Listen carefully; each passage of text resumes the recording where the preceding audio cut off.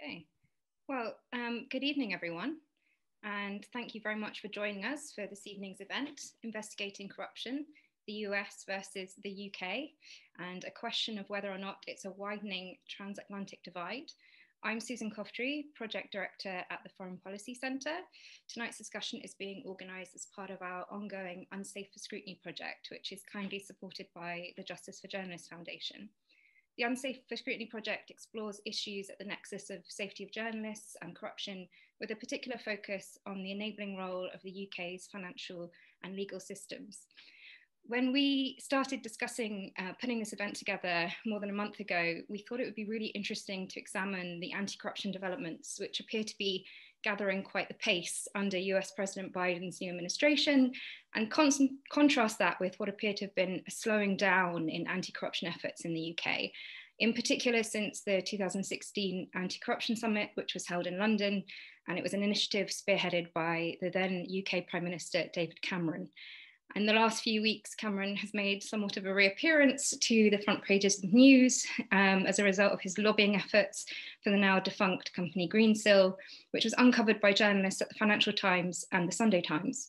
This has sparked a wider discussion on lobbying and, of course, comes rather hot on the heels of several investigations raising questions into how UK government COVID contracts were distributed and sit alongside broader concerns regarding the lack of follow on, which has come from repeated investigations that highlight London as a laundromat, as a global illicit finance centre, and an issue that was front and centre in the findings of UK Parliament's Intelligence and Security Committee's Russia report, which was published last July, to which there's been very little official inquiry or follow up inquiry. Arguably, in both jurisdictions, the issue of reputation laundering and those who enable it is still far from being effectively understood and addressed. So to discuss all of these many developments and the challenges facing journalists and others who are trying to uncover corruption, we have a truly excellent panel and it is my pleasure to introduce them to you now.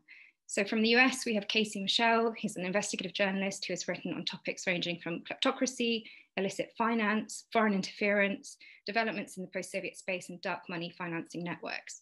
He's the author of a new book entitled American Kleptocracy, which is due out later this year.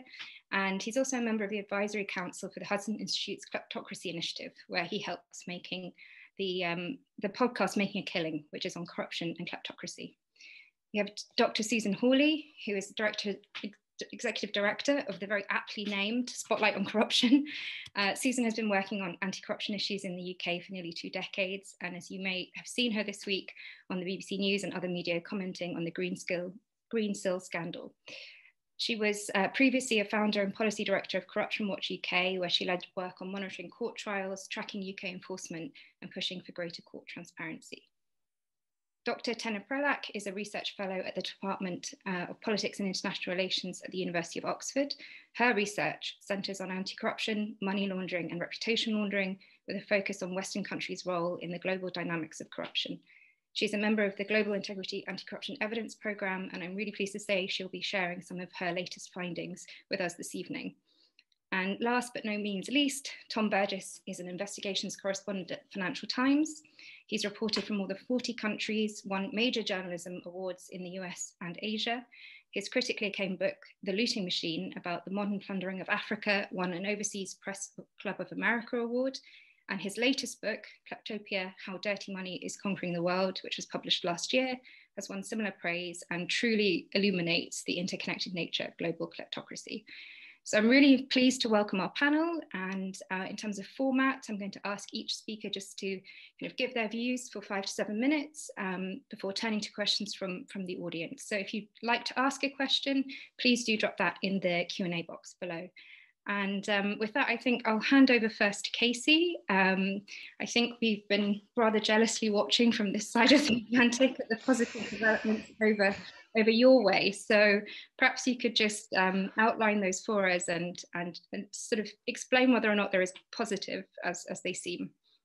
Uh, sure. Thanks, Susan. And I, I will say it's been uh, some time since I have felt any sense of broader envy at certain developments in the U.S. So, uh, among many things, it is a, a welcome uh, change of pace. But uh, you know, uh, obviously, thanks for for having me. It's absolutely wonderful to be able to join the, the panel today for this very important and topical discussion. You know, I'll, I'll speak just a few moments for a few minutes about some of the developments we have seen in the uh, US over the past uh, few months uh, at this point with the uh, inauguration uh, and uh, now presence of the Biden administration and some of the developments we've seen therein. Because, Susan, you're, you're exactly right. I mean, the developments we have seen, the rhetoric we have seen, the policy proposals that we have seen over just the last three, four, five months have been, uh, in many ways, unprecedented here in the US, not least in terms of the actual impacts on the ground, but the potential and underlying that the actual excitement, the actual momentum uh, behind that. And, and, you know, I, I, tried to make a list of all of the uh, positive, uh, forward-thinking developments we have seen. Again, we're talking just in the last three, four months since uh, Biden's uh, win in November, since his inauguration in January. Obviously, there have been any number of other concerning developments in the U.S., not least the events of January 6th in Washington. But beyond that, the developments within the anti corruption, counter kleptocracy space have been incredibly uh, welcome. Uh, certainly applauded on, on my end, and the momentum again continues as we speak right now. So I wanted to just run through a, a few of the developments uh, that we have seen some of the policy proposals, some of the statements, and some of the actual enacted uh, legislation already. Um, much of it is due to the administration, much of it is due to the results of the election last November, uh, but not all of it. And I wanted to just highlight first and foremost something that didn't emerge from the White House itself, uh, but something that actually came from Congress. Because again, we have seen uh, Congress take the lead on a number of these issues and in a number of these spaces over the last, frankly, few years at this point, even under the uh, the former administration, the former Trump administration. The most important of these being on January 1st earlier this year, the passage of uh, what was called the National Defense Authorization Act. Within that, it had a separate piece of legislation called the Corporate Transparency Act. But that is a piece of legislation that, uh, once enacted or since enacted, will effectively uh, ban the formation of and maintenance of anonymous shell companies here in the US. Now, obviously, this is something the UK took the lead on a few years ago with the enactment of its public beneficial ownership registry. And I will say the US's bill has not followed suit to that effect. That is to say, it will be, uh, for the foreseeable future, a private beneficial ownership registry you know, for those who aren't familiar with this, this is a registry of the names, identities, uh, and addresses of what we call beneficial owners. That is to say, who is benefiting from the formation and usage of shell companies. Uh, for years, the US has been a magnitude uh, difference as it pertains to the formation and availability of anonymous shell companies. States like Delaware, states like Wyoming, states like Nevada have perfected the formation of an anonymous shell company uh, into an art, right? You can get it in as little as 15 minutes for only $100. You never have to set foot in the state. I mean, I, easier to get than a library card. You know, this is similar rhetoric we've seen over the past few years, and yet the U.S. had done nothing about it time and time and time again. Uh, and any number of corrupt, illicit, dirty money, and uh, uh, um, uh, drenched actors took full advantage of this. Thankfully, early January, the U.S. finally passed legislation. The U.S. will no longer be allowing the formation of these anonymous shell companies. So we'll be watching the implementation of that moving forward. That is the first big one, and that was almost entirely due to Congress. And I will say that was passed over former President Trump's uh, veto, which was the first time it was a veto override. So that was that was nice. Um, but beyond that is the new administration as well. You know, President Biden, ironically enough, is actually the first American president from the state of Delaware. And again, Delaware being one of the primary, if not leading offshore and financial secrecy jurisdictions in the US. And yet he is the president that is overseeing so much of the reforms we have already seen and the reforms that are pledged to come. And I'll, I'll just run through a few of them. And uh, hopefully, this is the totality of them. It's difficult to try to keep up with all of these specific comments and policy proposals thus far. President Biden has publicly come out as saying he wants to and will continue placing anti corruption efforts at the center of national security policy to single out what he uh, describes as weaponized corruption as a primary threat to national security. This is a development, this is kind of a, you know, a theoretical academic construct of um, uh, uh, uh, kleptocratic authoritarian states using and utilizing corrupt uh, networks and corrupt actors to undermine national security and undermine national security policy of Western democracies, including the U.S. And, and just to take a quote from the White House's uh, national security strategic guidance, which they issued a few months ago, uh, they wrote, the White House wrote, quote, we will take a special aim at confronting corruption, which rots democracy from the inside and is increasingly weaponized by authoritarian states to undermine democratic institutions. Uh, that's the end of the quote there. And again, this is such a magnitude shift from what we saw over the past few years, and frankly, from what we saw from any administration previously, any administration prior. You know, you look at the personnel, the staffing up, right? This isn't just rhetoric that we've seen out of the White House. There's a brand new position within the National Security Council specifically dedicated to anti corruption efforts. The National Security Advisor, Jake Sullivan, has specifically placed anti corruption at the center of White House policy. And um, we've seen, even just in the last two weeks, calls for uh, from the White House for boosting the budget of the main anti-money laundering unit within the Treasury Department. That's the Financial um, uh, Crimes Enforcement Network. The White House wants to boost that budget by 50%. So we're not talking about just a, a nominal increase, but we're talking about an unprecedented increase among the U.S.'s primary, or Department of Treasury's primary anti-money laundering unit. Uh, to that end, we saw just two weeks ago the U.S. Uh, sanctioning uh, uh, uh, turning back to, uh, the sanctions, utilizing sanctions to specifically target corrupt actors abroad, those who have used these methods of weaponized corruption to undermine American national security. They sanctioned the most prominent uh, Ukrainian oligarch remaining, Igor Kolomoisky, singling him out for significant corruption, and again, continuing to lean on partners in Ukraine to uh, uh, lead their own investigations into and potential prosecutions of some of these figures and some of these actors. I mean, these are just some of the examples we've seen in just the last few months alone, and it also parallels something that is related, not quite identical, but that's also corporate tax reform and broader efforts at undermining the utilization of tax havens and tax havenry abroad. The U.S. under Biden has uh, already called for raising the U.S. corporate tax, but more importantly, creating a global minimum corporate tax, which,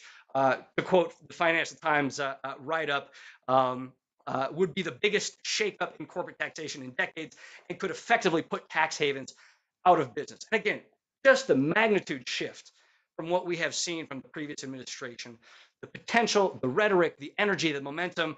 Um, I feel incredibly fortunate to be working and covering these topics at this time, given the development we have seen over the past few months. Again, this is not just a break with the past four years. This is frankly a break with the past four decades. Uh, as it pertains to broader taxation constructs, as it pertains to broader understanding of the threat of financial uh, secrecy, transnational corruption, kleptocracy as we know it. We finally have what appears to be an administration that understands the threat and uh, what should be done about it. So I've been rambling for a while. I'll turn it back to you, Susan. Thanks, Casey, and can just feel your enthusiasm just jumping up from the screen there. Um, and it all sounds extremely, extremely exciting, extremely promising, particularly what you mentioned there about resourcing and the, I hadn't picked up on that 50% target of increasing the, the budget to anti-corruption efforts. So um, yeah, it's definitely a, a different path uh, that the US seems to be heading down now. So um, on that note, I'd, I'd, love to turn to, to Sue uh, to get the, the picture from, from the UK and uh, not to prejudice it, but I imagine perhaps slightly less enthusiasm may, may emerge Thank you, and thanks so much for inviting me. Um, I'm actually going to start with Cameron and Greensill, not just because I've been on BBC News about it, um, but because I think it's a real cautionary tale about tackling corruption. Uh, because David Cameron was the first and really the only high level UK politician to really sign up to an anti corruption agenda. And he set in train a whole series of anti corruption reforms uh, which were really phenomenal. Actually, we've got you know unexplained wealth orders, uh, beneficial ownership transparency, the creation of a national anti-corruption strategy, things that are still feeding through the system, like a, a property register uh, of overseas owners. Um, and he is now suddenly embroiled at the heart of a major ethics and conflict of interest scandal.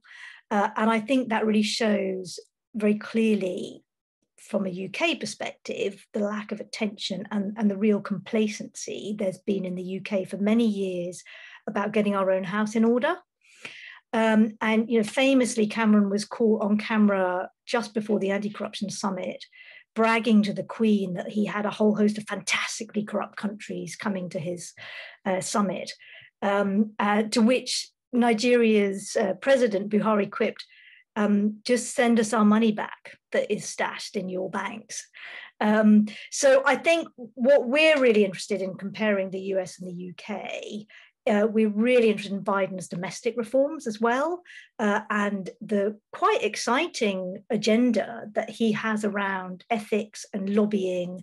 And we're really keen to see what kind of norms that the Biden administration might set in this space, um, which I think it, it, underlines the credibility of anything you do on illicit finance. You cannot show leadership on corruption on the international stage if you don't get your own house in order. I mean, that that's the bottom line. And it's not just about the UK anymore as a facilitator of corruption elsewhere. It's about, you know, really how rotten is our political system, is what people are talking about. I mean, we've got every single commentator and every single newspaper doing a, you know, comment piece on this. Um, and you can't disentangle the fight against corruption from protecting democracy. And I think, you know, if the US and the UK want to get up and have a democracy summit and they really want to hold their heads up high on the international stage, you know, there's a lot of work to do at home. And I've noticed there's been a little bit less enthusiasm about how quickly the Biden administration has been moving on the promises it made on ethics. Um, so, I, you know, I think that's a really important one to watch. And, and if they do do the exciting things that they said they'd do, I think there's plenty of scope for us in the UK to look to that and say, that's what we want. You know, that's the kind of democracy we need to be aiming for because the system is broken here. And I think it's very exciting to see as well. I mean, I think it's worth mentioning, you know, how diverse the civil society space is in the US. Uh, you know, recently there was a request, a request on an anti-corruption network for the best civil society initiative on revolving doors in government. And everyone had a different suggestion. There must be three different civil society databases on the revolving door. And one of the troubles we have in the UK is that there's very little funding to tackle UK corruption. Uh, and I think that reflects the same complacency that there has been in government, basically, that it's not really a problem here. Um, but we think you, we've got to address that. You can't have leadership on the global stage. You can't really tackle illicit finance without that. Um, so I just thought um, I'd very quickly talk about the recent integrated review, which lays out the ambition of the UK government. Um, it's worth mentioning corruption gets uh, seven references uh, in that review. Five of those are about the new corruption sanctions regime. Um, now, that regime is going to be launched by the end of April. It's coming down the line. Um, and I will come back to it, but it is part of um, the force for good agenda that the government wants to see. Illicit finance does a little better with 12 mentions. Um, there's a specific commitment to tackle economic crime and illicit finance, a commitment to reform the suspicious activity reporting regime, increase the number of financial investigators, beef up the NCA, and have some economic crime legislation. Um, and it specifically refers to illicit finance when it's talking about the US as the UK's most important bilateral relationship, which it wants to work with them on. Um, I think there was a very interesting debate afterwards in social media about um, among some commentators whether does it matter when you talk about illicit finance whether we're really talking about serious and organized crime or kleptocracy. Um, I'm going to say it really does matter, actually, um, and that there is a real problem here. That when the UK talks about illicit finance, it means drugs, money, and people trafficking. It doesn't really mean kleptocracy. Um, and that is a problem because that's what sets the priorities for law enforcement. And we see that increasingly. We see that, you know, the NCA is going after um, serious organised crime, and we're not seeing equivalent action against politically exposed persons with resources in the UK. Um, and, and I think it does um, distort the kind of level of success the UK can claim, because we saw that with the FATF review. The UK did incredibly well on prosecutions for money laundering, but it was almost all drug trafficking. Um, and there's very little high-end money laundering prosecution. Uh, so just for comparison, the term nuclear gets 84 mentions in the integrated review and the term space gets 109. So you can see that this is quite, quite a small priority, corruption and illicit finance. Um, just to wrap up, I don't think we can talk about this without the aid cuts issue. Um, you know, we're going to find out on Thursday what these aid cuts look like. Um, the Chancellor last autumn announced that we were going to reduce temporarily UK aid from 0.5 to 0.7 of GDP. That's like between 4.5 and 5 billion pounds worth of cuts. And there have been some suggestions that 80% of um, anti corruption work uh, funded by UK aid could be cut, which included potential media freedom initiatives, which is really important for the journalists um, in the room. Um, and I think what's undermined the credibility of these cuts being somehow a budget balancing measure is the fact that the defence budget, meanwhile, is going to increase by six billion. Uh, and this is really, it's very short-sighted and it has the potential to do huge damage to the UK's soft power around the world. And it has damage to really, sorry, potential to damage the, the new corruption sanctions regime because uh, we all know that sanctions only work in a broader kind of policy context when they're part of a package of measures. Um, and just very, very finally, and then I will stop talking on that regime. Um, we it's a really good and exciting uh, development. Um, and it means there'll be much more scope for multilateral sanctions with the US. And we've got, it's in a way the only concrete anti corruption initiative in government at the moment. It's the only thing where you've got a senior minister, very senior minister, who's really signed up to an anti corruption measure. Um, but I think we have to also be realistic. Um, I've written about this for the Foreign Policy Centre. Um, you know, there are a lot of lawyers and PR people in London who are prepared to defend kleptocrats. Uh, there's likely to be quite a lot of legal challenge, which will temper how ambitious the UK is really going to be in this space. Um, and, and we have to be really clear that this can't replace proper enforcement measures and criminal and civil action against kleptocrats in the UK. So thanks very much. Thank you, Sue. That was an amazing summary of everything that was going on.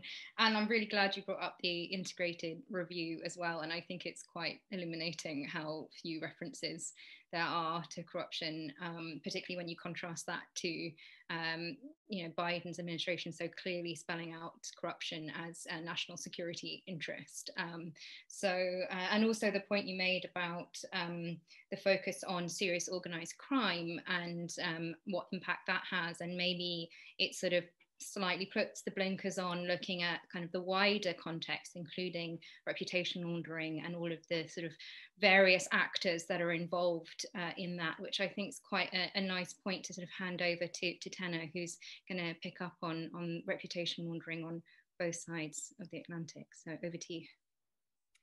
Thank you so much, Susan. It's really an honor to be part of this uh, fantastic panel. Uh, so yes, indeed, I'm going to shift the focus a little bit from uh, the laundering of the monies to the laundering of the reputations. And these two are really interlinked. I mean, by now we have established that uh, grand corruption is transnational, but to move large sums of money, of course, requires establishing a presence to enjoy the spoils of the Western world. And a prerequisite for this presence and for this access is respectability. So that is why reputation laundering is uh, really intrinsically linked with the grand corruption, and we should be looking at the two um, together. Um, I'm going to touch upon three main points. So first, I'm going to um, uh, tell you a bit about how reputation laundering works in the West um, by telling you some of my team's findings in terms of researching reputation laundering and how it occurs through donations to universities. Uh, second, uh, I'll um, uh, touch upon how this reverberates abroad. So the ways by which this is highlighted and complemented by dynamics happening in autocratic and semi-autocratic regimes. And finally, um, I will quickly um, touch upon the access to Western polit politics and politicians, which is really the ultimate prize in terms of uh, reputation laundering. So um, what happens in terms of uh, uh, reputation laundering through philanthropy?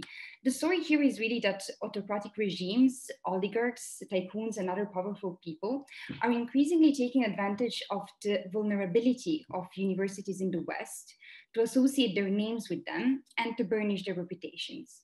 So how and why is this possible? Uh, first, some, some numbers. There has been a huge increase in private donations um, in UK universities. So in the UK and Ireland, they have increased by threefold over the past 10 years, reaching about 1.3 billion pounds per, per year. And in the meantime, public funding has tanked and Brexit hasn't helped uh, in this process with uh, research funding coming from the EU also declining very sharply. Uh, the US has similar uh, types of, uh, of dynamics, but it works at a whole different level. So just to make you understand, only the University of Pennsylvania uh, has uh, fundraised $260 million uh, between 2013 and 2019.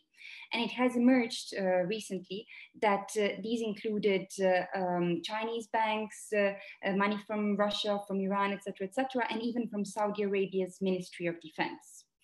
So how is that possible? Um, the long story short is that a big part of uh, the answer why uh, this is happening at an increasing level uh, lies in the marketization of universities.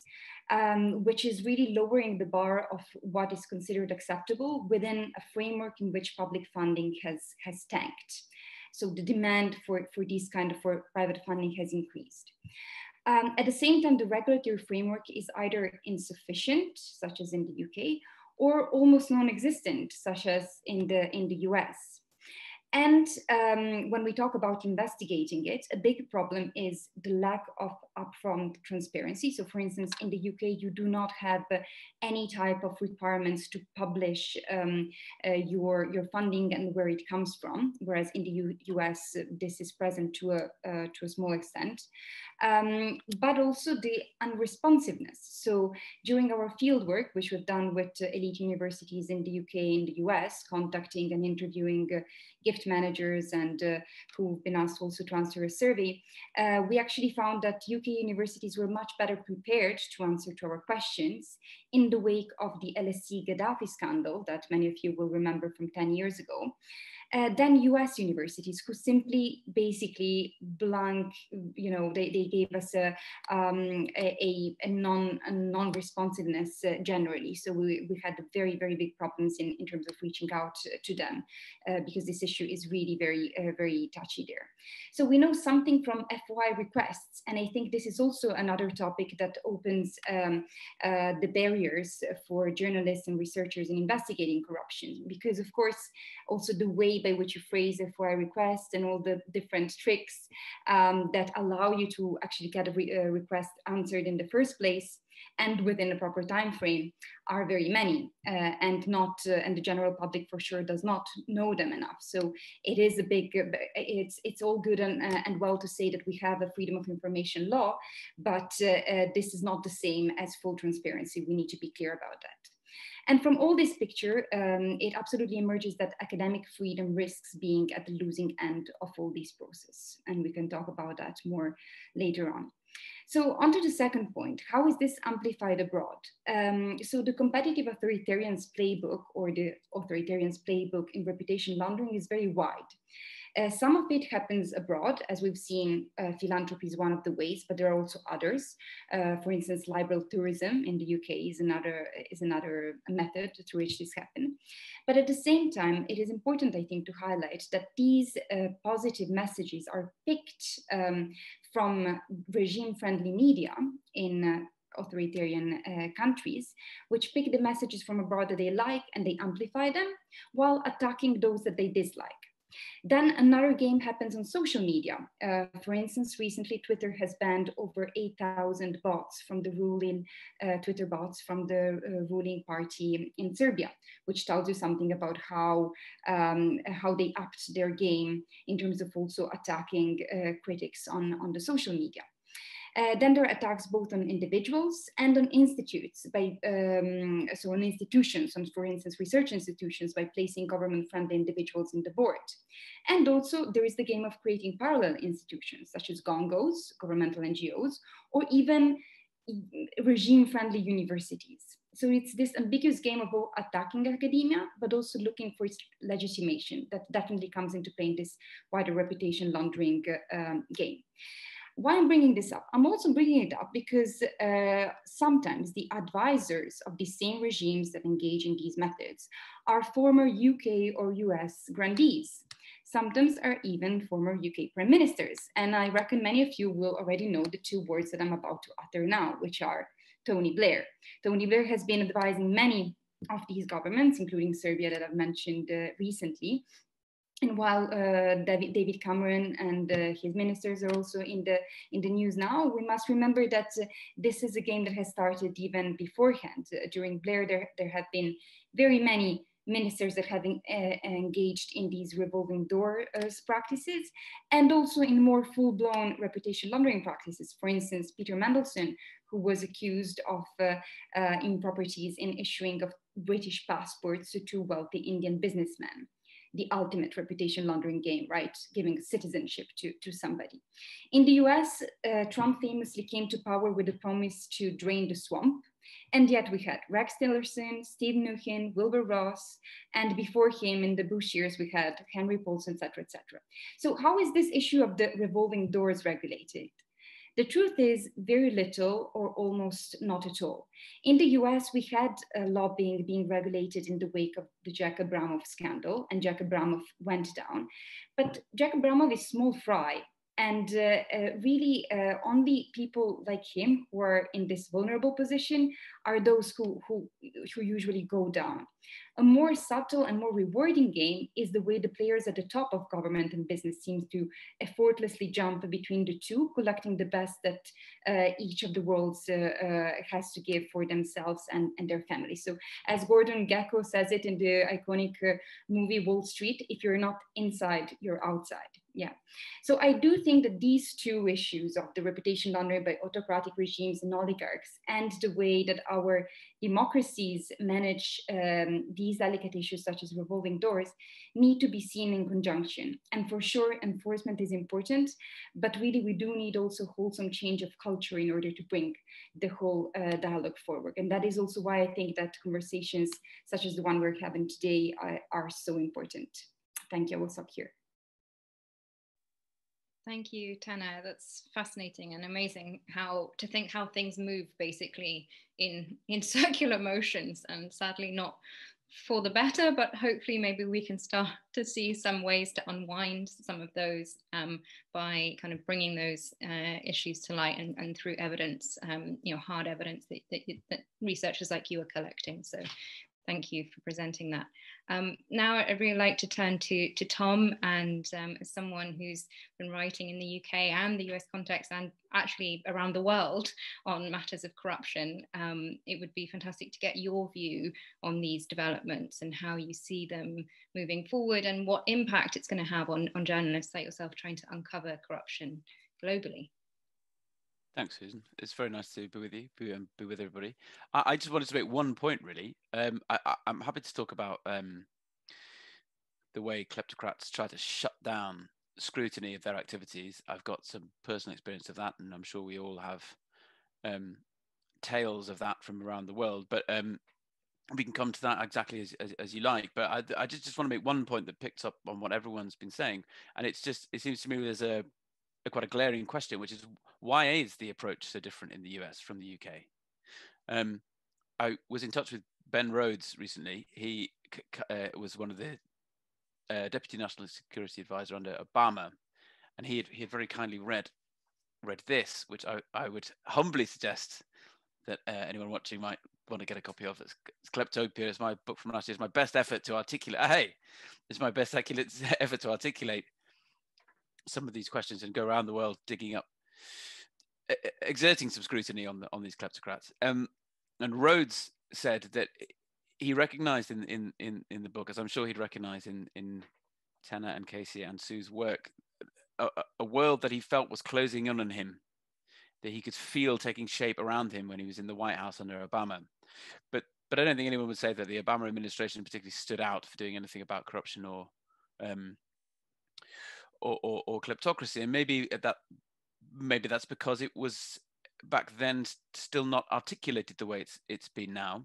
But what the US has obviously had between then and now is the most um, spectacular lesson at home in how kleptocracy can penetrate a democracy, right? Donald Trump, a creature of kleptocracy, fueled and supported by money from some of the darkest recesses of the former Soviet Union in business, and then running the presidency as a kleptocrat would. You could put money in his pocket. You could take a room at uh, his hotel in DC. You could take a, a, a, suite in Mar-a-Lago, and you could pay the U.S. president, um, perhaps in the hope that he might advance your cause. Um, obviously, that was just one aspect of the way in which Trump, Trump kleptocratized the White House.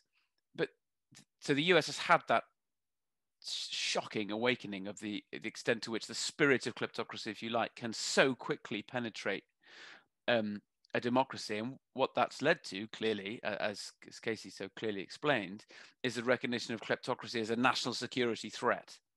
So not as something that happens in um, you know, hot places with unpronounceable names, with poor people that we should probably try and be nicer to, and we better send them um, the, the, the, occasional sort of 25 year old advisor to tell them what to do about it um, but but as an existential threat to to democracy, and that's why, again, as Casey said, you, if you look at the personnel on the National Security Council, um, they are almost to a man and woman believers in the important and understanders in the importance of, of, of kleptocracy as a threat. And the other point I'd make about the, why the US might be reacting differently is it, it has the firepower to do so.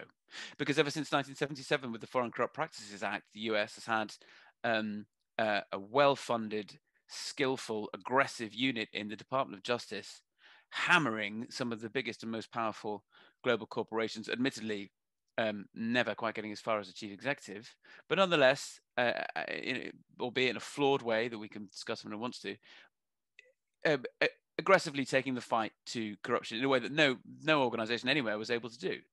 Um, and they've made an enormous amount of money doing it billions and billions and billions of dollars in, in, in fines. And so they, they can now train that apparatus on um, the, the, the targets of this national on the the um, sources of this national security threat of of kleptocracy. Now the UK is in a very different position isn't it? Because the UK ruling establishment certainly hasn't had this awakening. Far from it. It is part of the problem. And um, the, there is um, that we've had Brexit and we are, are in the late stages, one suspect, but but certainly the advanced stages of um, a, conservative government by a conservative party that has been very thoroughly penetrated by kleptocratic donors and lobbyists.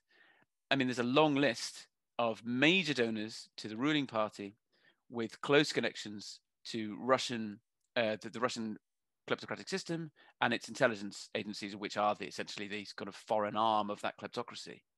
Um, it's astonishing to think that. I mean, I don't think if you turn that round, imagine if it was widely known that um, Putin's main donors were MI6 veterans and um, oligarchs from the home counties. That would obviously be greeted with complete outrage and astonishment in, in, in the Kremlin. But in the UK, we've become so used to being this kind of post-imperial entrepot of dirty money that that seems to us perfectly normal now. Um, and then, so so on the one hand, we, we we absolutely lack the realization that the U.S. democratic system has been through. Far from it, we are sinking deeper into that mire. Um, and on the other hand, firepower. Let's say um, Boris Johnson woke up with a change of heart in, in tomorrow or was replaced, and um, by someone who had a much clearer understanding of kleptocracy as a national security threat to British democracy, what firepower would there be to train on that problem? It would be risible it would be risible. We're, we're about to go into an enormous test case here, aren't we? The um, the, the High Court lawsuit by ENRC, brought by um, what, used to be a trio of Central Asian oligarchs. Now that one of them died recently, so two of them left. Um, who uh, stand accused and very vociferously deny any wrongdoing, we should say, of course, but stand accused of, of um, uh, or are under investigation for suspected corruption in some of the most corruption blighted and poorest parts of Central Africa. Um, and uh, have as their base of power Kazakhstan, one of the great engines of post-Soviet kleptocracy, and they listed their corporation in London, and that corporation's been is the target of the most consequential corruption investigation in the UK. They are countersuing the Serious Fraud Office in the UK. Um, that case soon to come before the the High Court. That is going to be a huge test of how business is based in kleptocracies.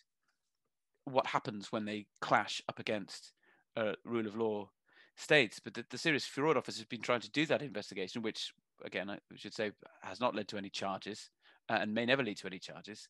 And the, the targets ENRC deny having done anything wrong. But it's absolutely David and Goliath. That's completely clear. The um, the, the the budget, um, the annual budget for the Serious Fraud Office um, it equates to about a week and a half's revenue for the for, for the corporate interests of of the uh, of these oligarchs. Um, you see it in the um, uh, across the board with UK enforcement. Uh, ben Judah, who's done a lot of work in this area, and we all know him. You know, he, he, I was speaking to him about this the other day. He used this great expression of like a, a hologram.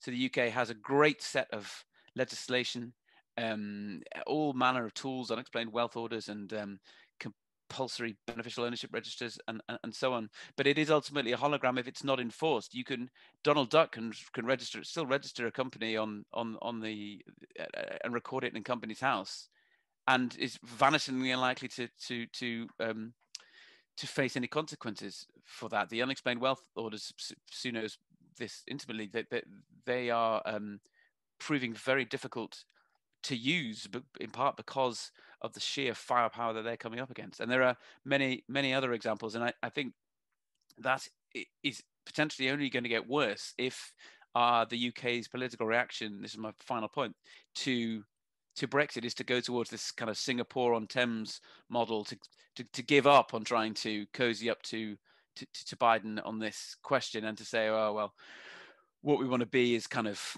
um, you know a cold Macau with uh, you know very few regulations on money laundering or anything else, and to really embrace the status of being the, the, the dirty money hub of, of the world.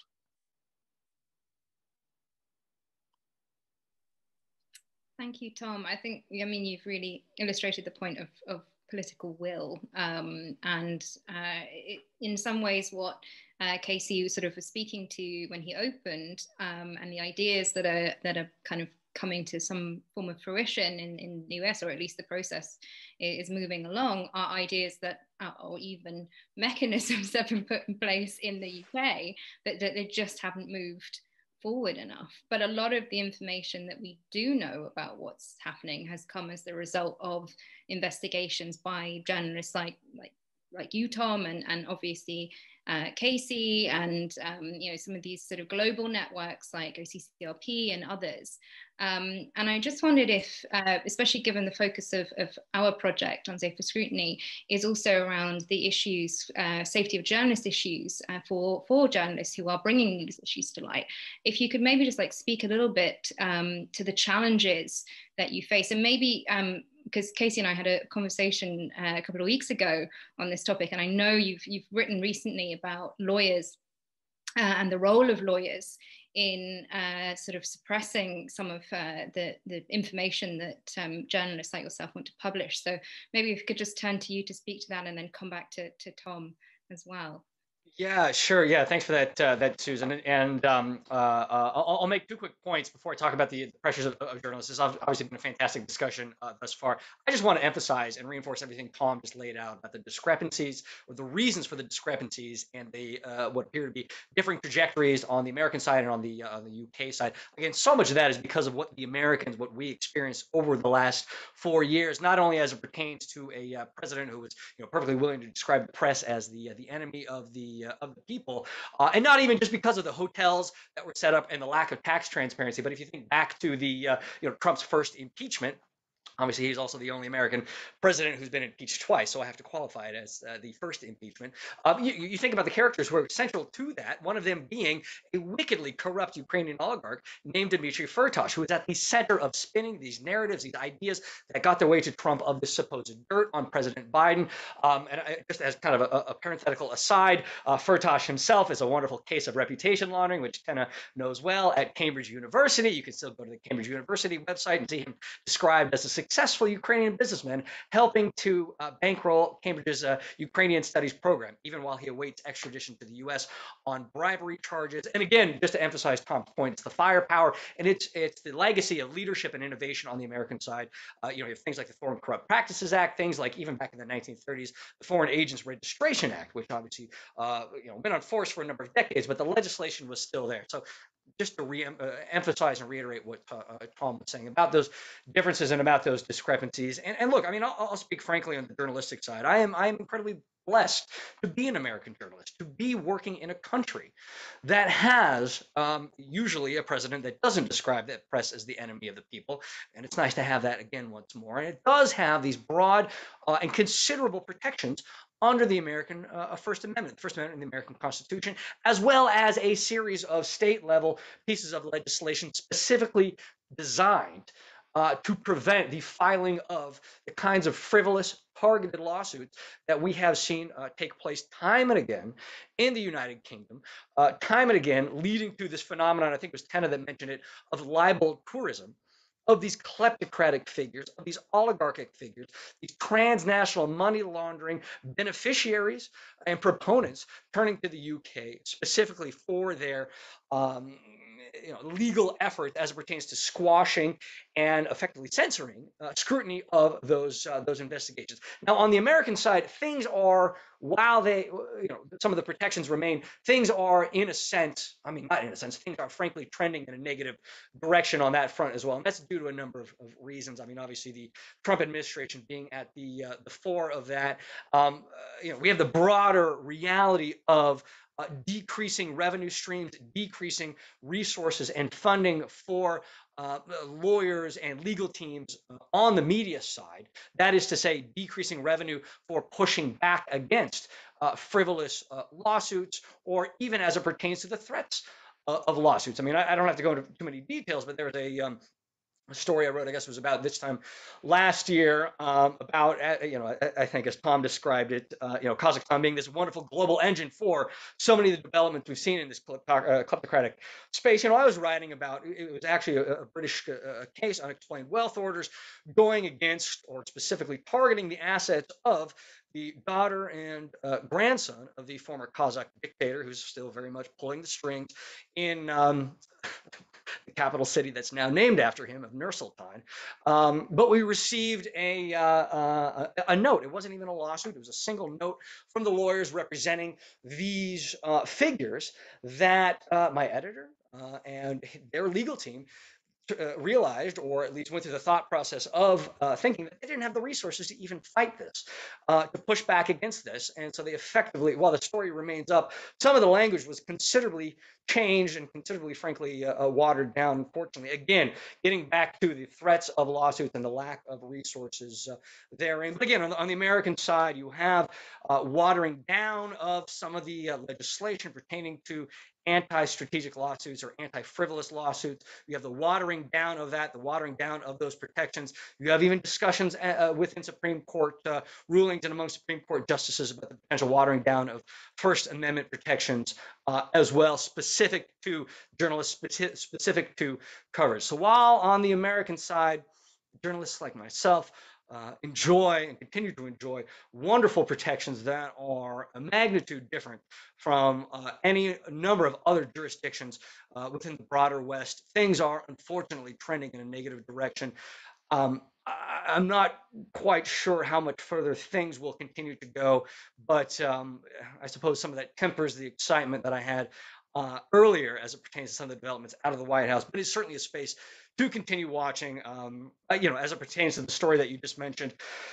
uh, uh, Susan, you know, my uh, myself and Alexander Cooley, who is a, uh, professor, the uh, head of the Harriman Institute at Columbia University, who's done some wonderful work on kleptocracy and the manifestations therein. You know, the story that we put together was headlined as "U.S. lawyers are the best friends a kleptocrat could ever ask for," something to that uh, effect. And I suppose there are best friends elsewhere that they could turn to, but American lawyers and Canadian lawyers as well um, uh, enjoy far broader writ as it pertains to what they can do, what they are able to do within kind of the you know the the, the, the legal regime here in the U.S. Uh, how they can move, how they can access, and how they can launder dirty money, ill-gotten gains, illicit assets without having to file even anything like a suspicious activity report. I mean, there's a very clear and unfortunate transatlantic divide as it pertains to the EU's uh, uh, oversight of the, uh, the legal regime and what lawyers are supposed to and required to file um, when it comes to dirty money movement, dirty money laundering, illicit financial flows, uh, et cetera, et cetera. This is an expanding field of study.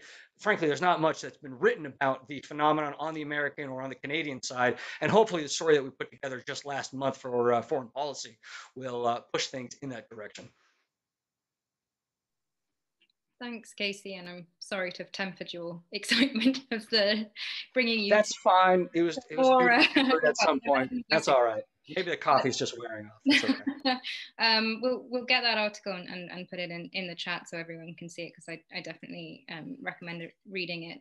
Um, maybe we can just hand back over to you, Tom, at that at this point to. Uh, yeah, it's a good piece that um, Casey's bit on lawyers, I'd recommend that too. Um, I, I can I read you something for a second. So uh, just on this question, so the, the, first thing to say, obviously, is that echoing what Casey said, that um, the, uh, the, the journalists who really have it tough are the ones like the ones I have the privilege to work with occasionally in Congo and Zimbabwe, Nigeria, Guinea, Kazakhstan, Azerbaijan, Russia, so on. The ones who get killed and or um, live with similarly terrifying levels of, of, of threats, and it's um, it's certainly dangerous and difficult for us when we go to these places, but we, we can leave, and we also have the the um, support of big heavyweight, uh, or albeit declining, um, media organisations.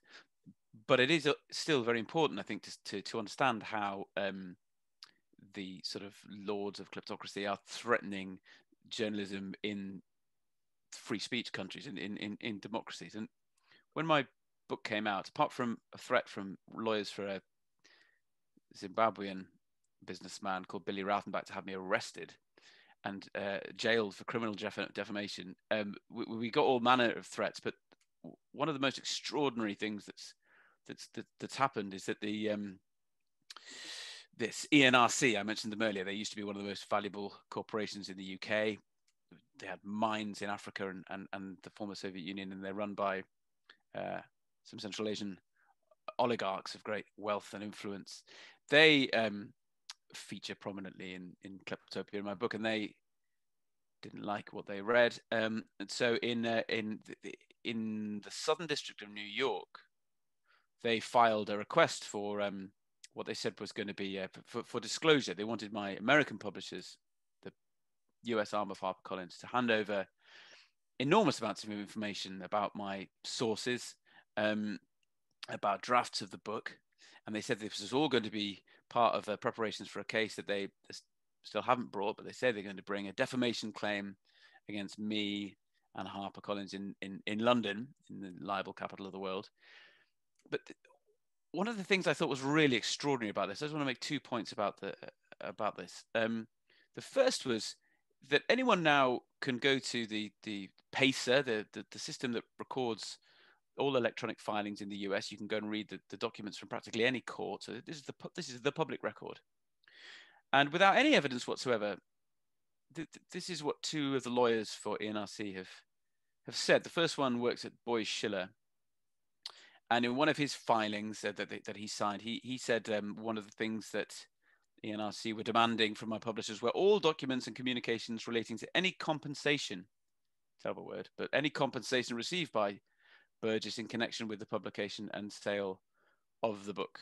and why did they want this? They said because it might demonstrate whether Mr. Burgis was paid by third parties to publish the book as part of a negative PR campaign against ENRC. So, quite apart from the usual terrors of going up against um, fantastically wealthy people who don't like scrutiny of, of their activities and all the financial risk and reputational risk that that in, in, in professional risk that, that involves, there's now this open statement that I'm corrupt, and it, it was backed up by uh, by Niri um, uh, Shanmuganathan, who's a who's a big lawyer, media lawyer in London. He works for Taylor Wessing. That's another one of the great many law firms who work for in ENRC. And Niri, he, he, he submitted a statement in this case as well, and it says this. Mr. Burgis's compensation and who he received it from is also very relevant to determining whether he had a reasonable belief that publication of the allegations was in the public interest, particularly, particularly if those who paid him, those who paid him, also had axes to grind against the ENRC. So there you have it. The just the just the um, unevidenced but stated as fact that I'm I'm corrupt. Uh, any journalist who who targets them must be part of a world where um, they're on the take. And the second point I'd, I'd, make about an, uh, an, aspect that I hadn't seen before of this kind of um, lawfare, if you like, is um, ENRC have also sued in London um, a former prosecutor for the Serious Fraud Office called John Gibson. And this again is a public filing. I'm not saying anything that isn't in public filings before courts. Um, and they're accusing him of leaking information on the Serious Fraud Office investigation into suspected corruption at ENRC.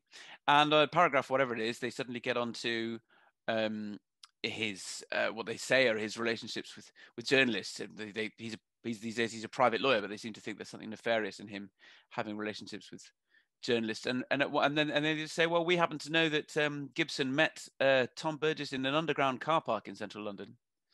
Um, and they described the meeting. The only way they could know that that happened would be if they were watching it. So there we have in um, in, a, in an open court filing a statement by a major global corporation run by oligarchs that they are observing meetings between um, lawyers and journalists. Obviously, you wouldn't expect me to uh, discuss that meeting myself, but it's been Gibson himself has confirmed that it did take place and it did take place. Um, and there's absolutely nothing wrong with journalists meeting lawyers. And sadly, these are the kind of precautions we have to take for precisely the reason that it seems more and more um, oligarchs are using espionage tactics to um, conduct surveillance on those they fear may um, try to scrutinize their their activities. Those are those are really the two sort of most two of the most extraordinary things I've witnessed recently in the, in, in the UK about this um, this use of the law and of kind of uh, surveillance tactics and espionage tactics um, against those who, who, who try to conduct scrutiny of of of of these um, this these the ultra uh, wealthy individuals from from the big kleptocracies. Thank you, Tom, for sharing that. And I think that it, um, in a way, it's like the story behind the story is almost just as fantastical as the original story, and um, you know the sort of levels to it are quite extraordinary. Um, and uh, while it's quite amazing given the fact that your case uh, and the case files are available on the US PACER system and this information is in public domain, there's quite a sort of hidden problem with regards to sort of legal threats um, against uh, journalists. And, well, I know you're doing some what sounds like really valuable work on this. I think it's a huge problem because the, it's not only the um, uh, it's it's as you say, it's very rare. It's only sort of through a quirk of the system that I can talk about this because the um, some of the correspondence has ended up on the public record in the in, in the US because this is a sort of cross jurisdictional case. But um, it's, it's, so often these these cases. Um, well, they don't even become cases. This is the crucial point that um, I spent the whole of you know months of last year sitting where I am now in lockdown, um, fending off the, the most expensive libel lawyers in, in, in London. I got two letters from Carter Ruck in a day once. In fact, I would say that I I, I made my I'm glad to say I made my own small contribution to keeping the libel tourism industry afloat during that difficult period, and um, certainly keeping them busy. But but but so often this stuff obviously happens in complete secrecy. I mean, Casey alluded to having to change his his piece after some threats from Kazakhstan. And, and, Susan, this is why I think your work is, is absolutely crucial here. No one's really dug into it and tried to pull it all together to see how much journalism never gets written because pre-publication you have to seek comment. Obviously, it's, it's a reasonable thing to do, but that that process has become essentially a way for the rich to use the sheer threat of wealth and the threat of losses that they could they could impose on the, on a on a on a newspaper or a broadcaster to to to, to shut down reporting pre-publication. So the, the the, the things we see end up in court, like Catherine Belton's brilliant book, Putin's People. Now Roman Abramovich is suing her about that. The very last minute, he's he's able to do so under the law. Um, it's a fantastic book by a brilliant, brave journalist. So that that's an example of something we may see a bit of play out in public, and my stuff has ended up in public as well. But there's a huge iceberg of unreported material that maybe in some cases may have been it may have been correct not to report it, may have been wrong. The, the pre-publication process may have worked, and a journalist may have been persuaded that they were making an error. But I would bet the mortgage on on there being a great many more cases of information of great public interest simply being suppressed by legal threats. Yeah, thank you. I uh, really appreciate you doing my job for me and explaining what the research is that we're doing um, and endorsing endorsing the work. It's really kind and um, exactly what we we hoping with the unsafe scrutiny project to to illuminate and um, so you know cases like like yours um, and and others that are in the sort of public domain kind of really do serve they're the sort of pinnacle of the iceberg I I, I would say um, but I can see that there are quite a few questions already in the Q and A and I'd, I'd, be very keen to turn to those and, and and invite all the panelists to to give their responses. So let me um, start off by um, there's someone called Ewan Grant from London here. His question is While the USA, especially President Biden's home state of Delaware and the UK and its dependent territories, are crucial to stemming kleptocracy, is there not a real danger of overemphasizing the Anglosphere what about Switzerland and the EU states and countries such as Dubai and Singapore, which are vulnerable to Russian and Chinese pressure? Are we in danger of grossly overemphasizing the credibility of ultimate beneficial ownership records? So, a few questions in there, but um, I think all speaking to the sort of similar themes. So, anybody keen to jump in on, on that? Uh, yes, I can say a few words if you wish. Uh, so I think this is a great question.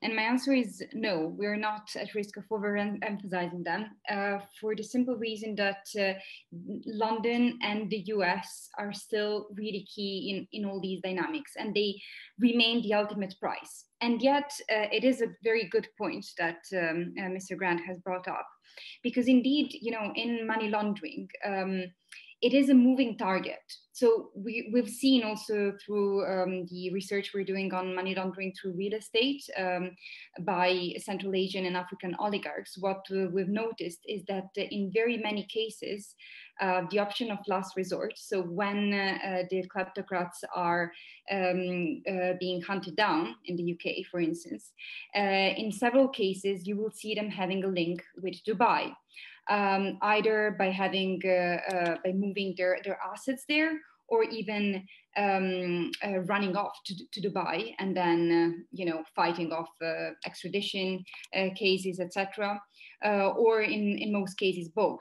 Uh, and really, I think the role of, of the Emirates and of Dubai specifically in global money laundering is, has, has become very, very important in recent years in, in many ways.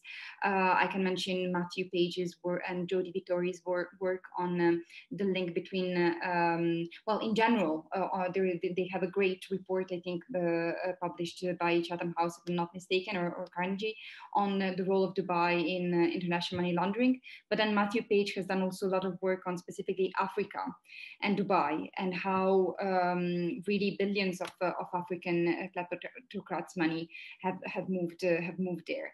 Uh, we see instances of uh, oligarchs from uh, all over um, developing economies um, running to, to Dubai when things get hot. There is, for instance, uh, uh, Vasil Boshkov, also uh, known as the Skull, um, uh, a very powerful um, Bulgarian oligarch who uh, you might have seen, um, you know, uh, in in Mayfair very often until a few years ago, and now he's he's plotting his comeback from from Dubai.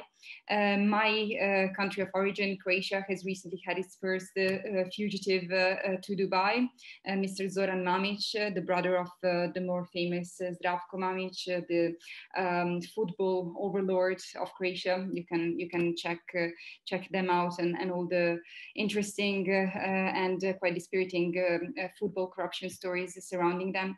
So I think that it is a valid point, you know, that we must look also at other geographies, but the action needs to start somewhere, and it needs to start where this problem is the most um, most important, which is exactly in these geographies that we're saying that we're talking about, and also crucially, if we let our guard down, you know, if these uh, small steps towards full uh, greater transparency and um, and greater enforcement are backtracked, um, I'm I have no doubts that the money will flow back immediately. Even the money that is not uh, still there, you know, that uh, will come back. So uh, it needs to be an action on a global scale. It is really difficult, but that is what what needs to happen. Um, so so yeah, so these would be my my thoughts on on that question. I'm sure that Sue will have uh, more to say um, in this regard. Um, thanks. I mean, absolutely, Dubai is um, becoming a number one juris bolt hole for kleptocrats, you know, and uh, it, but I, I think you're right, Tena, that actually we don't have any leverage if we say, oh, because they're at it, we shouldn't have strong defenses. We have leverage with jurisdictions like that because we're saying this is a global fight and we've got to do something about it. But I think there's also um, it's quite interesting um, how actually Dubai also becomes a route to funnel money back into places like the UK and US. So it kind of cleans up money. Um, so there was a report about whether aid, the aid money given to enforcement is actually stopping Nigerian politicians bringing money to the UK. And the conclusion kind of was that it's just making them clever about how they do it and they're doing it more through jurisdictions like um, Dubai. And I, but I think it is important that we also acknowledge that in all the major magic law circle firms, all the major banks, they set up in Dubai, all the big four, you know. So uh, I think there's something interesting in there about do we have enough kind of liability for the parent companies that are headquartered in the UK for how they behave in these jurisdictions? Um, because that's another way we could um, get leverage. Um, but while I'm here, can I also make a I was really fascinated by Tom talking about, and there's a question from Barnaby about the fight back from corruption. And I don't know if any of you listened to John Benton's amazing podcast about his attempts to prosecute the uh, former Nigerian government, James Ibori. And what happened in that case, and it really relates to what Tom was saying, is that he employed private detectives uh, to smear the Met police officers and accuse them, basically make up these in, allegations, which really stuck. I mean, people still think that the Met, these Met police officers were corrupt because of this um, action that they took, even though the Supreme Court has said no, there's no evidence these people were paid by James Ibori. But it but it's the lengths to which these people will go to, but it's also the availability of the people who will help them go to, you know, do that. And I think that's where, you know, we have to start asking the lawyers, the PR guys, the private detectives, where is the ethical line? You know, they might not be doing something wrong by taking this money, but they are sure as hell doing something very, very unethical by doing so.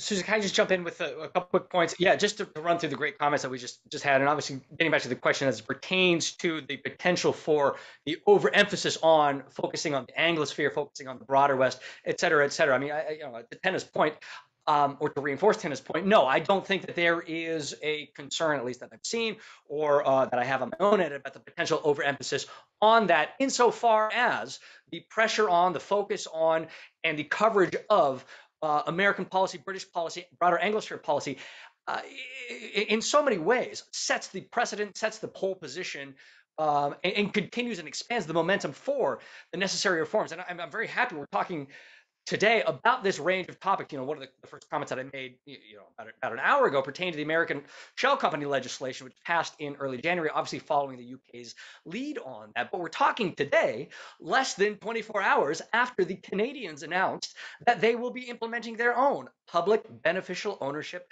registry within the next few years, which would not have happened without the Americans setting the precedent, or at least continuing the precedent, just a few months ago. Without the American passage of that legislation, the Canadians are not doing that whatsoever. And frankly, after the Americans passed the legislation, Canada was then the next uh, greatest uh, font of these anonymous shell company formations. So to see that momentum continue, yes, then absolutely the Dubai's, the Switzerlands, the Singapores will continue and need to continue coming under increased pressure. Um, to the questioner, you know, exactly right. Uh, you know, as it pertains to these other non-Anglosphere destinations, non-Anglosphere uh, polities and jurisdictions that are increasingly being cited in and utilized by these figures. We've already talked about Dubai, but the uh, the Sentry, which is another investigative outfit, uh, outfit, does absolutely fantastic work uh, pertaining especially to the African side of things. And they had a great report a few months ago about how, with increasing uh, uh, restrictions, increasing transparency in the West, uh, more and more of these African kleptocrats are turning specifically to African real estate in Namibia, in South Africa, in even places like Zimbabwe for their uh, laundering operations. Um, and just to, to, turn back to what I mean, again, the blessings of being an American journalist, I have not ever had to experience anything what Tom and his colleagues in the British space have had to uh, experience. But again, the threats of lawsuits lawsuits, um, the concerns about the threats of lawsuits, not even having to receive something like that. You know, to, to Tena's research, you know, I had a, the opportunity to do another story for uh, foreign policy a few months ago pertaining to the American side of nonprofit uh, reputation laundering. And we had any number of case studies of these post-Soviet oligarchic figures that we had uncovered using kind of big data uh, uh machine learning analysis, uh, donations to, in the hundreds of millions of dollars to American nonprofits, universities, think tanks, foundations, et cetera, et cetera all of which we had to cut. We had to cut every single one of those case studies, uh, not because of any threats received, but because of the potential for threats received. They just didn't want to go through with it. And um, you know, a shameless self plug. Some of those details will be in my own book, forthcoming later this year. So I don't have a hard copy just yet. Keep an eye open for it. But um, uh, again, the threats, the concerns about that as um, uh, you know the, the, the, next frontier in the kleptocratic playbook. Which again, thank you so much, Susan, for everything that is happening today and everything that you and your team have continued doing on this. Thank you, Casey, and we're very much looking forward to to your book coming out. And I think um, you know it's just speaking to the point about um, you, you, know we don't know what information isn't being published. Um, and Tom, you know, said earlier that there's a right to reply process, a request for information, and if taken in good faith, that can you know give additional information or you know correct uh, misunderstandings, you know, in a sort of genuine process. But unfortunately, what we see um, happening is actually that pre-publication process is uh, creating uh, a sort of uh, a cloud and, um, and, and a sort of in a quasi-legal frame, resulting in information being either amended or not even getting out there at all, and um, and how that then feeds into the, the the networks that then kind of cover due diligence uh, and you know the law enforcement information as they build cases. So you know it's sort of a, a real uh, downward kind of spiral. Unfortunately, I think you're wanting to come in, Tom. So I'll hand over. Well, well, just add one more thing and just sort of pick up on what Sue said as well about. The, I mean, the Ibori case is astonishing. I used to go to James Ibori's house in Lagos when I was the the Lagos correspondent. He was the man who knew everything and uh, was in the in the thick of uh, on the thick of everything. And he was he was he's one of the most extraordinarily manipulative characters I've ever encountered. Um, a sort of genius for playing Nigerian politics. But the the the, the fascinating point about his smear campaign against um, the the detectives on his case was that was he's a real sort of pioneer in that respect. Because that's there's we're talking about the pre-publication process right where where people get intimidated into silence. But then once the allegations are out as they were in the Ibori case there's a different game which Ibori I think the, the way Sue describes it's perfect. Ibori sort of pioneered which is to um, you try and do a sort of scorched earth approach to the truth. It's very Trumpian um, you you try to say. I mean, every legal letter we get now, pretty much almost without exception, refers to some kind of disinformation campaign, sort of ill-defined disinformation campaign of which said oligarchical billionaire is the unfortunate victim, and the journalist should be aware. Um, that this is going on and, should, and, and, and is presumably being manipulated by the um, the enemies of the of the oligarch, and it's it's constructing a narrative um, where it's it's transplanting the way journalism worked in a kleptocracy and shoving that narrative onto the way it works in democracies by saying uh, every journalist is bent, every journalist has a um, is is on on the take. Some are, of course, but uh, not nowhere near as many as in say Nigeria or Kazakhstan, where essentially journalism has become a way to make money from the people you're writing about there is obviously still a, a free press, attacked though it has been in, in many ways in recent years. But the narrative that gets imposed, especially in court battles around this stuff, um, and as Sue said, in, in often in, in kind of smear campaigns, is to say um, everybody involved in this story, all the journalists, all the lawyers, all the law enforcement um, agencies, all the prosecutors, everybody's corrupt. And it's just um, a kleptocrat on kleptocrat battle, which is exactly how these things work in Russia and it, but it's to switch that narrative and to and to try to um, sort of remove any sense of morality or ethics from it and and allow the kleptocrat in question in the high court to say um, the, the point isn't whether or not I paid those bribes in Congo or whatever. That's that's irrelevant. The point is the messenger and whether the messenger has an ulterior motive, and therefore um, detaching these cases from the actual facts of corruption themselves uh, yeah, I mean that that that's it in a nutshell, really. Um, I'm conscious of time. We've got 15 minutes left, and there's a few questions um, left unanswered. So I'd just like to to turn to them. Um, and I think, uh, given that we we started with sort of mentions of uh, Greensill and, and lobbying. Um, there's a question here from David Harley. Any views on the desirability and feasibility of changing the law on funding of political parties and campaign finance in both the UK and the US, uh, introducing state funding, as is the case in several EU countries? So maybe Sue, um, turn to you first of all. Well, um, I mean, Casey, correct me if I'm wrong, but that is one of Biden's potential uh, agendas, right? That he, I mean, whether he'll see through on it, but it was mentioned in one of the early kind of ethics reforms that he was thinking of doing, that he would review um, whether it was whether he was going for full state funding. I don't think it was fully articulated. Um, I mean, it is. Uh, yeah, there's so much to sort out. I mean, we also have to sort out peers, donors being given peerages, you know, that's really cash for access, you know, donors being given privileged access, which is, you know, I really agree with what Tena said earlier. This is not only a Conservative Party problem, this is a cross-party problem about whoever's in power. And I and I feel like saying that to everyone who, who's saying this about this is Tory corruption. Like, does anyone remember Tony's cronies? You know, Bernie Ecclestone, you know this is about the, a system failure in the UK that has to be addressed because you know we've even seen this with our you know current opposition leader is already holding special dinners uh, to explain Labour Party policy to donors. Um, so we really absolutely do have to sort out party funding, um, and I'm not sure um, what I'm not enough of an electoral finance specialist um, to say exactly what needs to happen now, but I, I think it really does have to be um, addressed, um, and it's one of the part part of the reforms about protecting democracy. Well, we just, well, we're, sorry. Oh, sorry. I was just, just briefly going to, going to add at least due diligence, right? Whether it's if, if you keep the, the due diligence, the, the system of checking any MP who's paying any attention will tell you that the system of checking the origins of donors' money is, is gone, is dead. It doesn't happen anymore.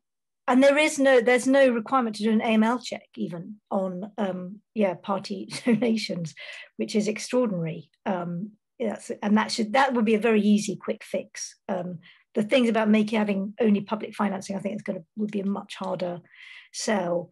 But just kind of very also quickly add while we're talking, while we've mentioned Greensill, um, Greensill also funded an academic department. Manchester. And uh, so it's not just oligarchs.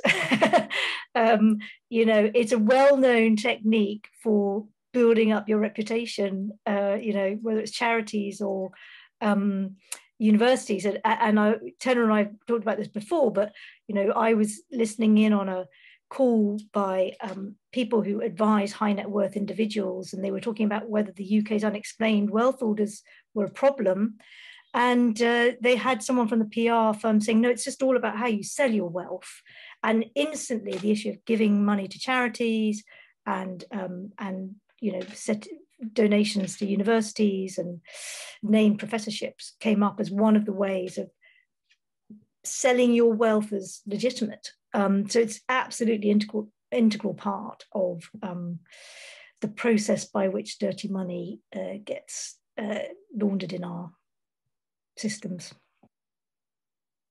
Thanks, Sue. And that prompts me to want to ask Tena a question about how we can kind of tackle that problem. But first of all, I just wanted to hand over to Casey with regards to the question on the US and, and lobbying and potential movement in that area. Uh, yeah, no, that's a uh, that's a great question. Again, you know, uh, so much of the discrepancy, so much of the Uh, uh, differing trajectories that we have seen already, uh, uh, you know, vis-a-vis the American and the British side of things, it, it is, you know, on the U.S. side is is again directly due to what the U.S. experienced in the past four years under the, the previous administration. You know, one of the things that I mentioned earlier was the Foreign Agents Registration Act, which was a piece of legislation that the U.S. passed in in 1938, specifically targeted at unearthing pro-Hitler, pro-Nazi um, uh, underground subterranean lobbying efforts uh, in the U.S. For the first six or seven decades of that legislation, which again required lobbyists working on behalf of foreign governments, foreign principals, to uh, uh, reveal the sources uh, of their financing and, and how they were using that financing, what meetings they were having, what op-eds they were writing. For, for the first six or seven decades, it was effectively unenforced. It was on the books, but nobody paid any attention to it. You could count the successful convictions uh, stemming from uh, FARA, the Foreign Agents Registration Act, on one hand. And then came along Donald Trump and his 2016 campaign, which injected, which reinvigorated this long moribund piece of legislation. And in the past four years, we have seen any number of successful prosecutions, any number of successful uh, investigations into these previously unregistered, previously non disclosed lobbying uh, networks. Um, increased resources, increased personnel. Again, FARA has seen uh, just a completely unprecedented new lease on life, which is obviously completely overdue, but far better uh, late than never. And again, so much of that stemming from uh, the Trump administration and the 2016 campaign. And Biden, during the campaign, went so far as to say that uh, should he become president, which obviously he he, he uh, you know won the election in November, he would move to ban outright uh, those lobbying on behalf of specifically foreign governments, not necessarily foreign entities, not necessarily foreign oligarchs, but specifically foreign governments, saying or framing it as uh, uh, wanting to maintain state to state relations, state to state communications on a purely diplomatic level. Now, we haven't seen that come to fruition yet. That has received uh, pushback among those who are within the broader, uh, you know, pro-transparency community. There are a number of constitutional issues therein. We haven't seen that. I mean, to Sue's point, there have been a number of commitments that within the first three months of the administration, today is the three-month anniversary of the administration, we haven't seen come to fruition. But to, to the broader point of this this tidal shift in understanding, in resources, in resourcing, and uh, in, in framing of these issues, of the manifestations of um, uh, uh, you know the tools and tactics of this broader kleptocratic playbook. I mean, on the lobbying side of things in the U.S., God, it's going to be an uphill battle you know, I, I would not hold out hope for any kind of public financing reform in the near future. But in terms of transparency and in terms of the uh, diligence therein, uh, again, it is a complete narrative shift, a completely different world from where we were even just a, a few years ago. So much of that, again, thanks to what the U.S. experienced over the past few years. Thanks, Casey. Um, again, before I come to Tena, sorry to, to, keep you waiting, but I've seen one more question that I think it would make sense to follow on from what um, Casey was just saying, because there's a question um, from an anonymous attendee uh, who said, whilst the creation of um, own, you know the, the, beneficial ownership registry um, is a big step forward, um, what is the effect of it being a private list? So it, it's not going to be a public one, um, as we've seen elsewhere. Yeah, so the effects of that are, are twofold, and I'll, I'll just touch on this briefly because because I want to get back to Tena as well, hear what she has to say. Uh, twofold. One, because it is private, it will not be accessible to journalists like myself or like Tom, other investigators elsewhere, other civil society activists, other elsewhere, other human rights activists uh, elsewhere. Instead, it will be privy only to uh, those in the American government and uh, those members of uh, foreign governments, foreign investigators, uh, foreign governmental investigators uh, that will be granted access to it. So, uh, in that sense, it is not nearly as forward thinking, or I, I, suppose, you know, the utility of it is not nearly the magnitude of what it is in the UK and what we will see in, in Canada. And to that extent, you know, the second point of that is, as we have seen in the UK time and again, you know, I don't know how many shell companies Donald Duck has set up, but he still has every right to because the lack of enforcement of and the lack of um, uh, uh, attention paid to the actual filings of uh, those company formation documents. Again, any regulation is only as good as its enforcement. It has been, as uh, I think it was Ben made the comment earlier, Ben Judah, um, you know, effectively a hologram of that. And we have that is what we've seen on the public side. Without that public accessibility, because it's only private, we have no idea. We will have no idea how effectively it will be enforced, how effectively uh, and accurately the information uh, produced therein uh, will be. So those are the two components of the concerns about why private. Again, it's still a massive magnitude different step forward for the U.S. Um, but again, the concerns about accessibility, concerns about enforcement are still very real, uh, which is why we'll continue to push for it to be public at some point in the future. Great, thank you, Casey. Um, so now I would really love to turn to Tena and just in terms of the presentation and, and the research um, that you're doing at the moment, um, obviously, you are highlighting the issues. So, what would you like to see universities do and others that are sort of enabling this reputation laundering? Thanks. Yeah, let me just follow up on something that uh, Sue uh, raised, and I very much agree with her. It is not only an issue about uh, uh autocratic governments and foreign oligarchs coming and subverting our democracy from within. Uh, we're very capable of subverting our democracy from within ourselves. So in that sense, I, uh, I find very inspiring the work by Anand Giridharadas um, uh, and his book uh, Winners Take All. Um, and basically his thesis that this extraordinary elite generosity of our time is what upholds a system of extraordinary elite hoarding. So you know this everything to change for nothing ever to change type of thing that uh, uh, Tommaso di Lampedusa um, wrote about uh, uh, many many moons ago. Um, and so you know in the U.S. we had the very clear cases of that, for instance, through Epstein very very recently. And I can tell you that uh, uh, during our fieldwork we actually came across information that. Um, that basically when the scandal emerged so when uh, the epstein um, uh, scandal was uh, brought uh, much you know more forcefully into the public eye uh, and questions were raised with uh, several universities including very elite ones that received donations by by jeffrey epstein um, the response by those universities seemed to be completely unprepared. So they seemed to to say something along the lines of we don't know where this money is. We will check and get back to you. So this tells you that really there is a complete unpreparedness um, at institutional level to deal with uh, with these kind of uh, of threats, both internal and external, and gen- generally a, a non-recognition of this as a, as a problem um, which is uh, uh, in, in very clear contrast to what, uh, you know, to the statements of intent that many universities put, put, out. So, um, so, you know, quite clearly there is a problem at the institutional level of even understanding that this is an issue and of collecting this, this information. And this is just, the realization is, is just kicking in. Um, so in terms of, you know, where we're at and what can, we can do better, um, what I mentioned earlier about about transparency, I mean, this is such a clear, you know, action point. Some things like cultural changes, of course, you know, take more time, but very clearly we need radical transparency in terms of what uh, um, is donated to, to universities. So as I mentioned earlier, uh, the US has something in place, only donations um, from 20, uh, 250K dollars um, and upwards are, are um, uh, published.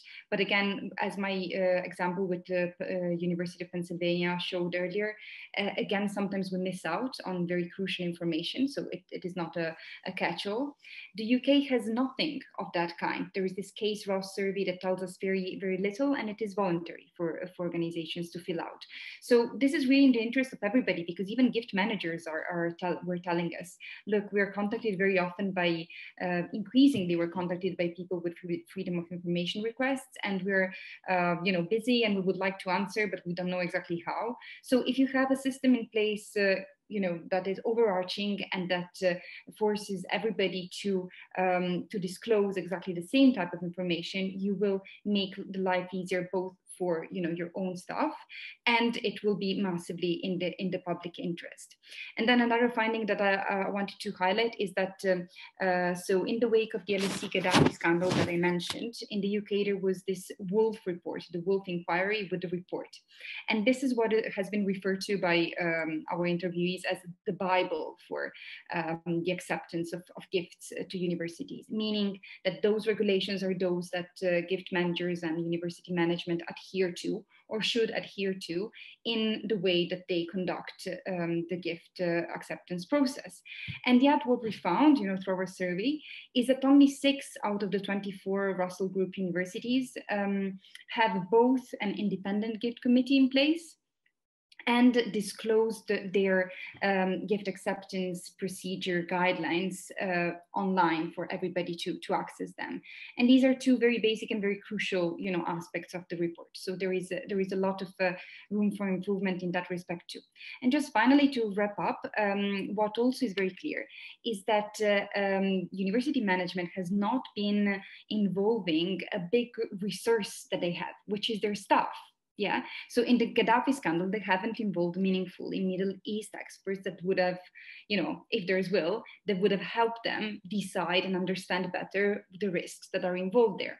So in the spirit of involving um, academics more, um, the working group that I'm part of, which is called the Academic Freedom and Internationalization Working Group, has proposed a draft model code of conduct. So something that uh, uh, academics should discuss and propose to their universities to um, uh, to uh, implement uh, and to sign up to um, in order to to increase the transparency in, in gift managing procedures and also in many other areas um, related to academic freedom that are being increasingly put under risk in this conjuncture of marketization and of internationalization of universities.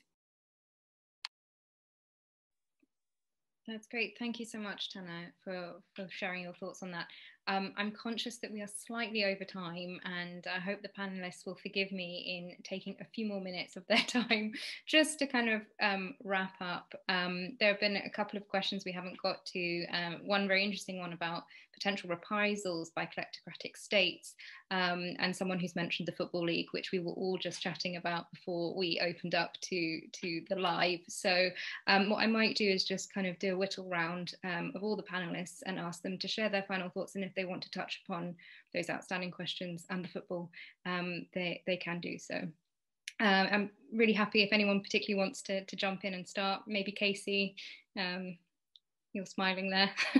well, no, no, I, I think that it is a um, I, again speaking as putting my American hat on. I won't I won't claim any knowledge of the developments in the in football space obviously I call it soccer and football is something completely different to me. So I won't I won't touch on that uh, uh, um, uh, in and of itself. I mean, I think that, I think the question is this is probably uh, obviously uh, uh, you know a fodder for a further discussion later. But the responses from kleptocratic states, kleptocratic figures, I think it gets back to one of the earlier comments that I made pertaining to the Biden administration and President Biden himself. Rhetoric on the threats to and concerns about the implications for national security. Um, within that, I mean, I think you know Tom Tom was making the you know the you know, commentary earlier as pertains to this notion of this very frankly outdated notion of corruption, grand corruption, illicit and Ill- ill-gotten gains as something that simply happens over there in a faraway country with a name you can't pronounce, uh, and, for people that we should care about more, but you know we have other things going on in our lives. It is very real. It is very much a reality that uh, that corruption, that those manifestations of that kind of ill-gotten gain um, and, and that kleptocratic wealth are here. They are in the West. They are in the democratic polities. They are within the broader Anglosphere, and they are upending the political dynamics of the U.S., of the UK, of Canada, of you know you know, pick whatever country uh, you would like. So um, I guess suppose my concerns are a bit less as it pertains to state-to-state dynamics. That is to say, I'm not especially concerned about how the uh, regime in Kazakhstan is going to respond to American investigations or British investigations. It is more so the specific figures themselves utilizing, uh, using and utilizing weaponized corruption, strategic corruption, to manifest their own desirable ends and to continue their looting, their pillaging, their immiseration of the broader populations uh, writ large, and then the specific policies therein that we can respond to. So I guess my, my quick response to that is I'm less concerned about state-to-state frictions, um, although you know I'm going to bracket Russia and China as for something for a later discussion, and more the actual usage of uh, the policies we have outlined, the networks we have described uh, for the benefit of these kleptocratic figures worming their way into these polities, these um, uh, uh, uh governments, uh, uh, you know, and, and, and, these broader democracies that. Again, speaking as American, we have already seen what kind of devastation and concern this can lead to. Um, you know, I, I can pick any number of examples for the past four years as as proof of that. But um, yes, I, I suppose we're all closed. Thank you, Casey. Maybe Sue.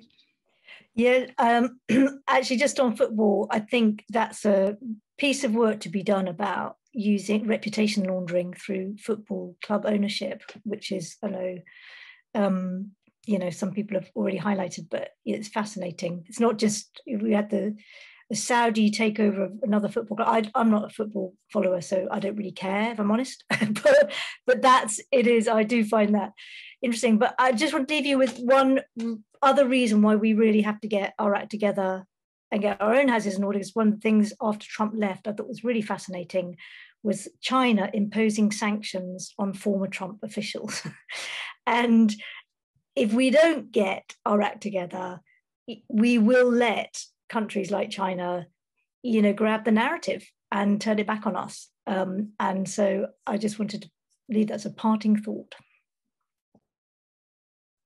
Yeah, and a very interesting one as well. Um, Tom, any sort of final final thoughts on football? Just add, to, just to add to what Sue's saying, really, I, I, think that that's already taking shape. That what the, the the idea of calling my book Kleptopia was to try to get at this idea of a place or a uh, an alliance emerging of of kleptocrats, which is not simply states, as we've been saying, that there are plenty of kleptocrats in London and New York, but um, an alliance, if you like, of these kleptocratic networks and something like the proliferation of sanctions, the the way that that backfires, that it is it pushes more and more individuals and countries to join this kind of shadow global economy.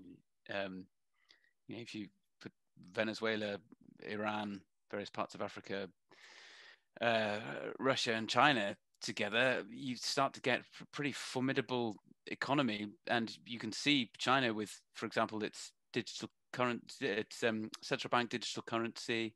You can see Iran and Venezuela doing um, oil and gold swaps. You can see that this shadow economy taking shape and, and, and all the while in all these ways we've discussing probing the defenses of the rule of law where where it exists um, so i think the I think worryingly, the, the, the, the, hour is already quite quite late to to um, try to restore those defences.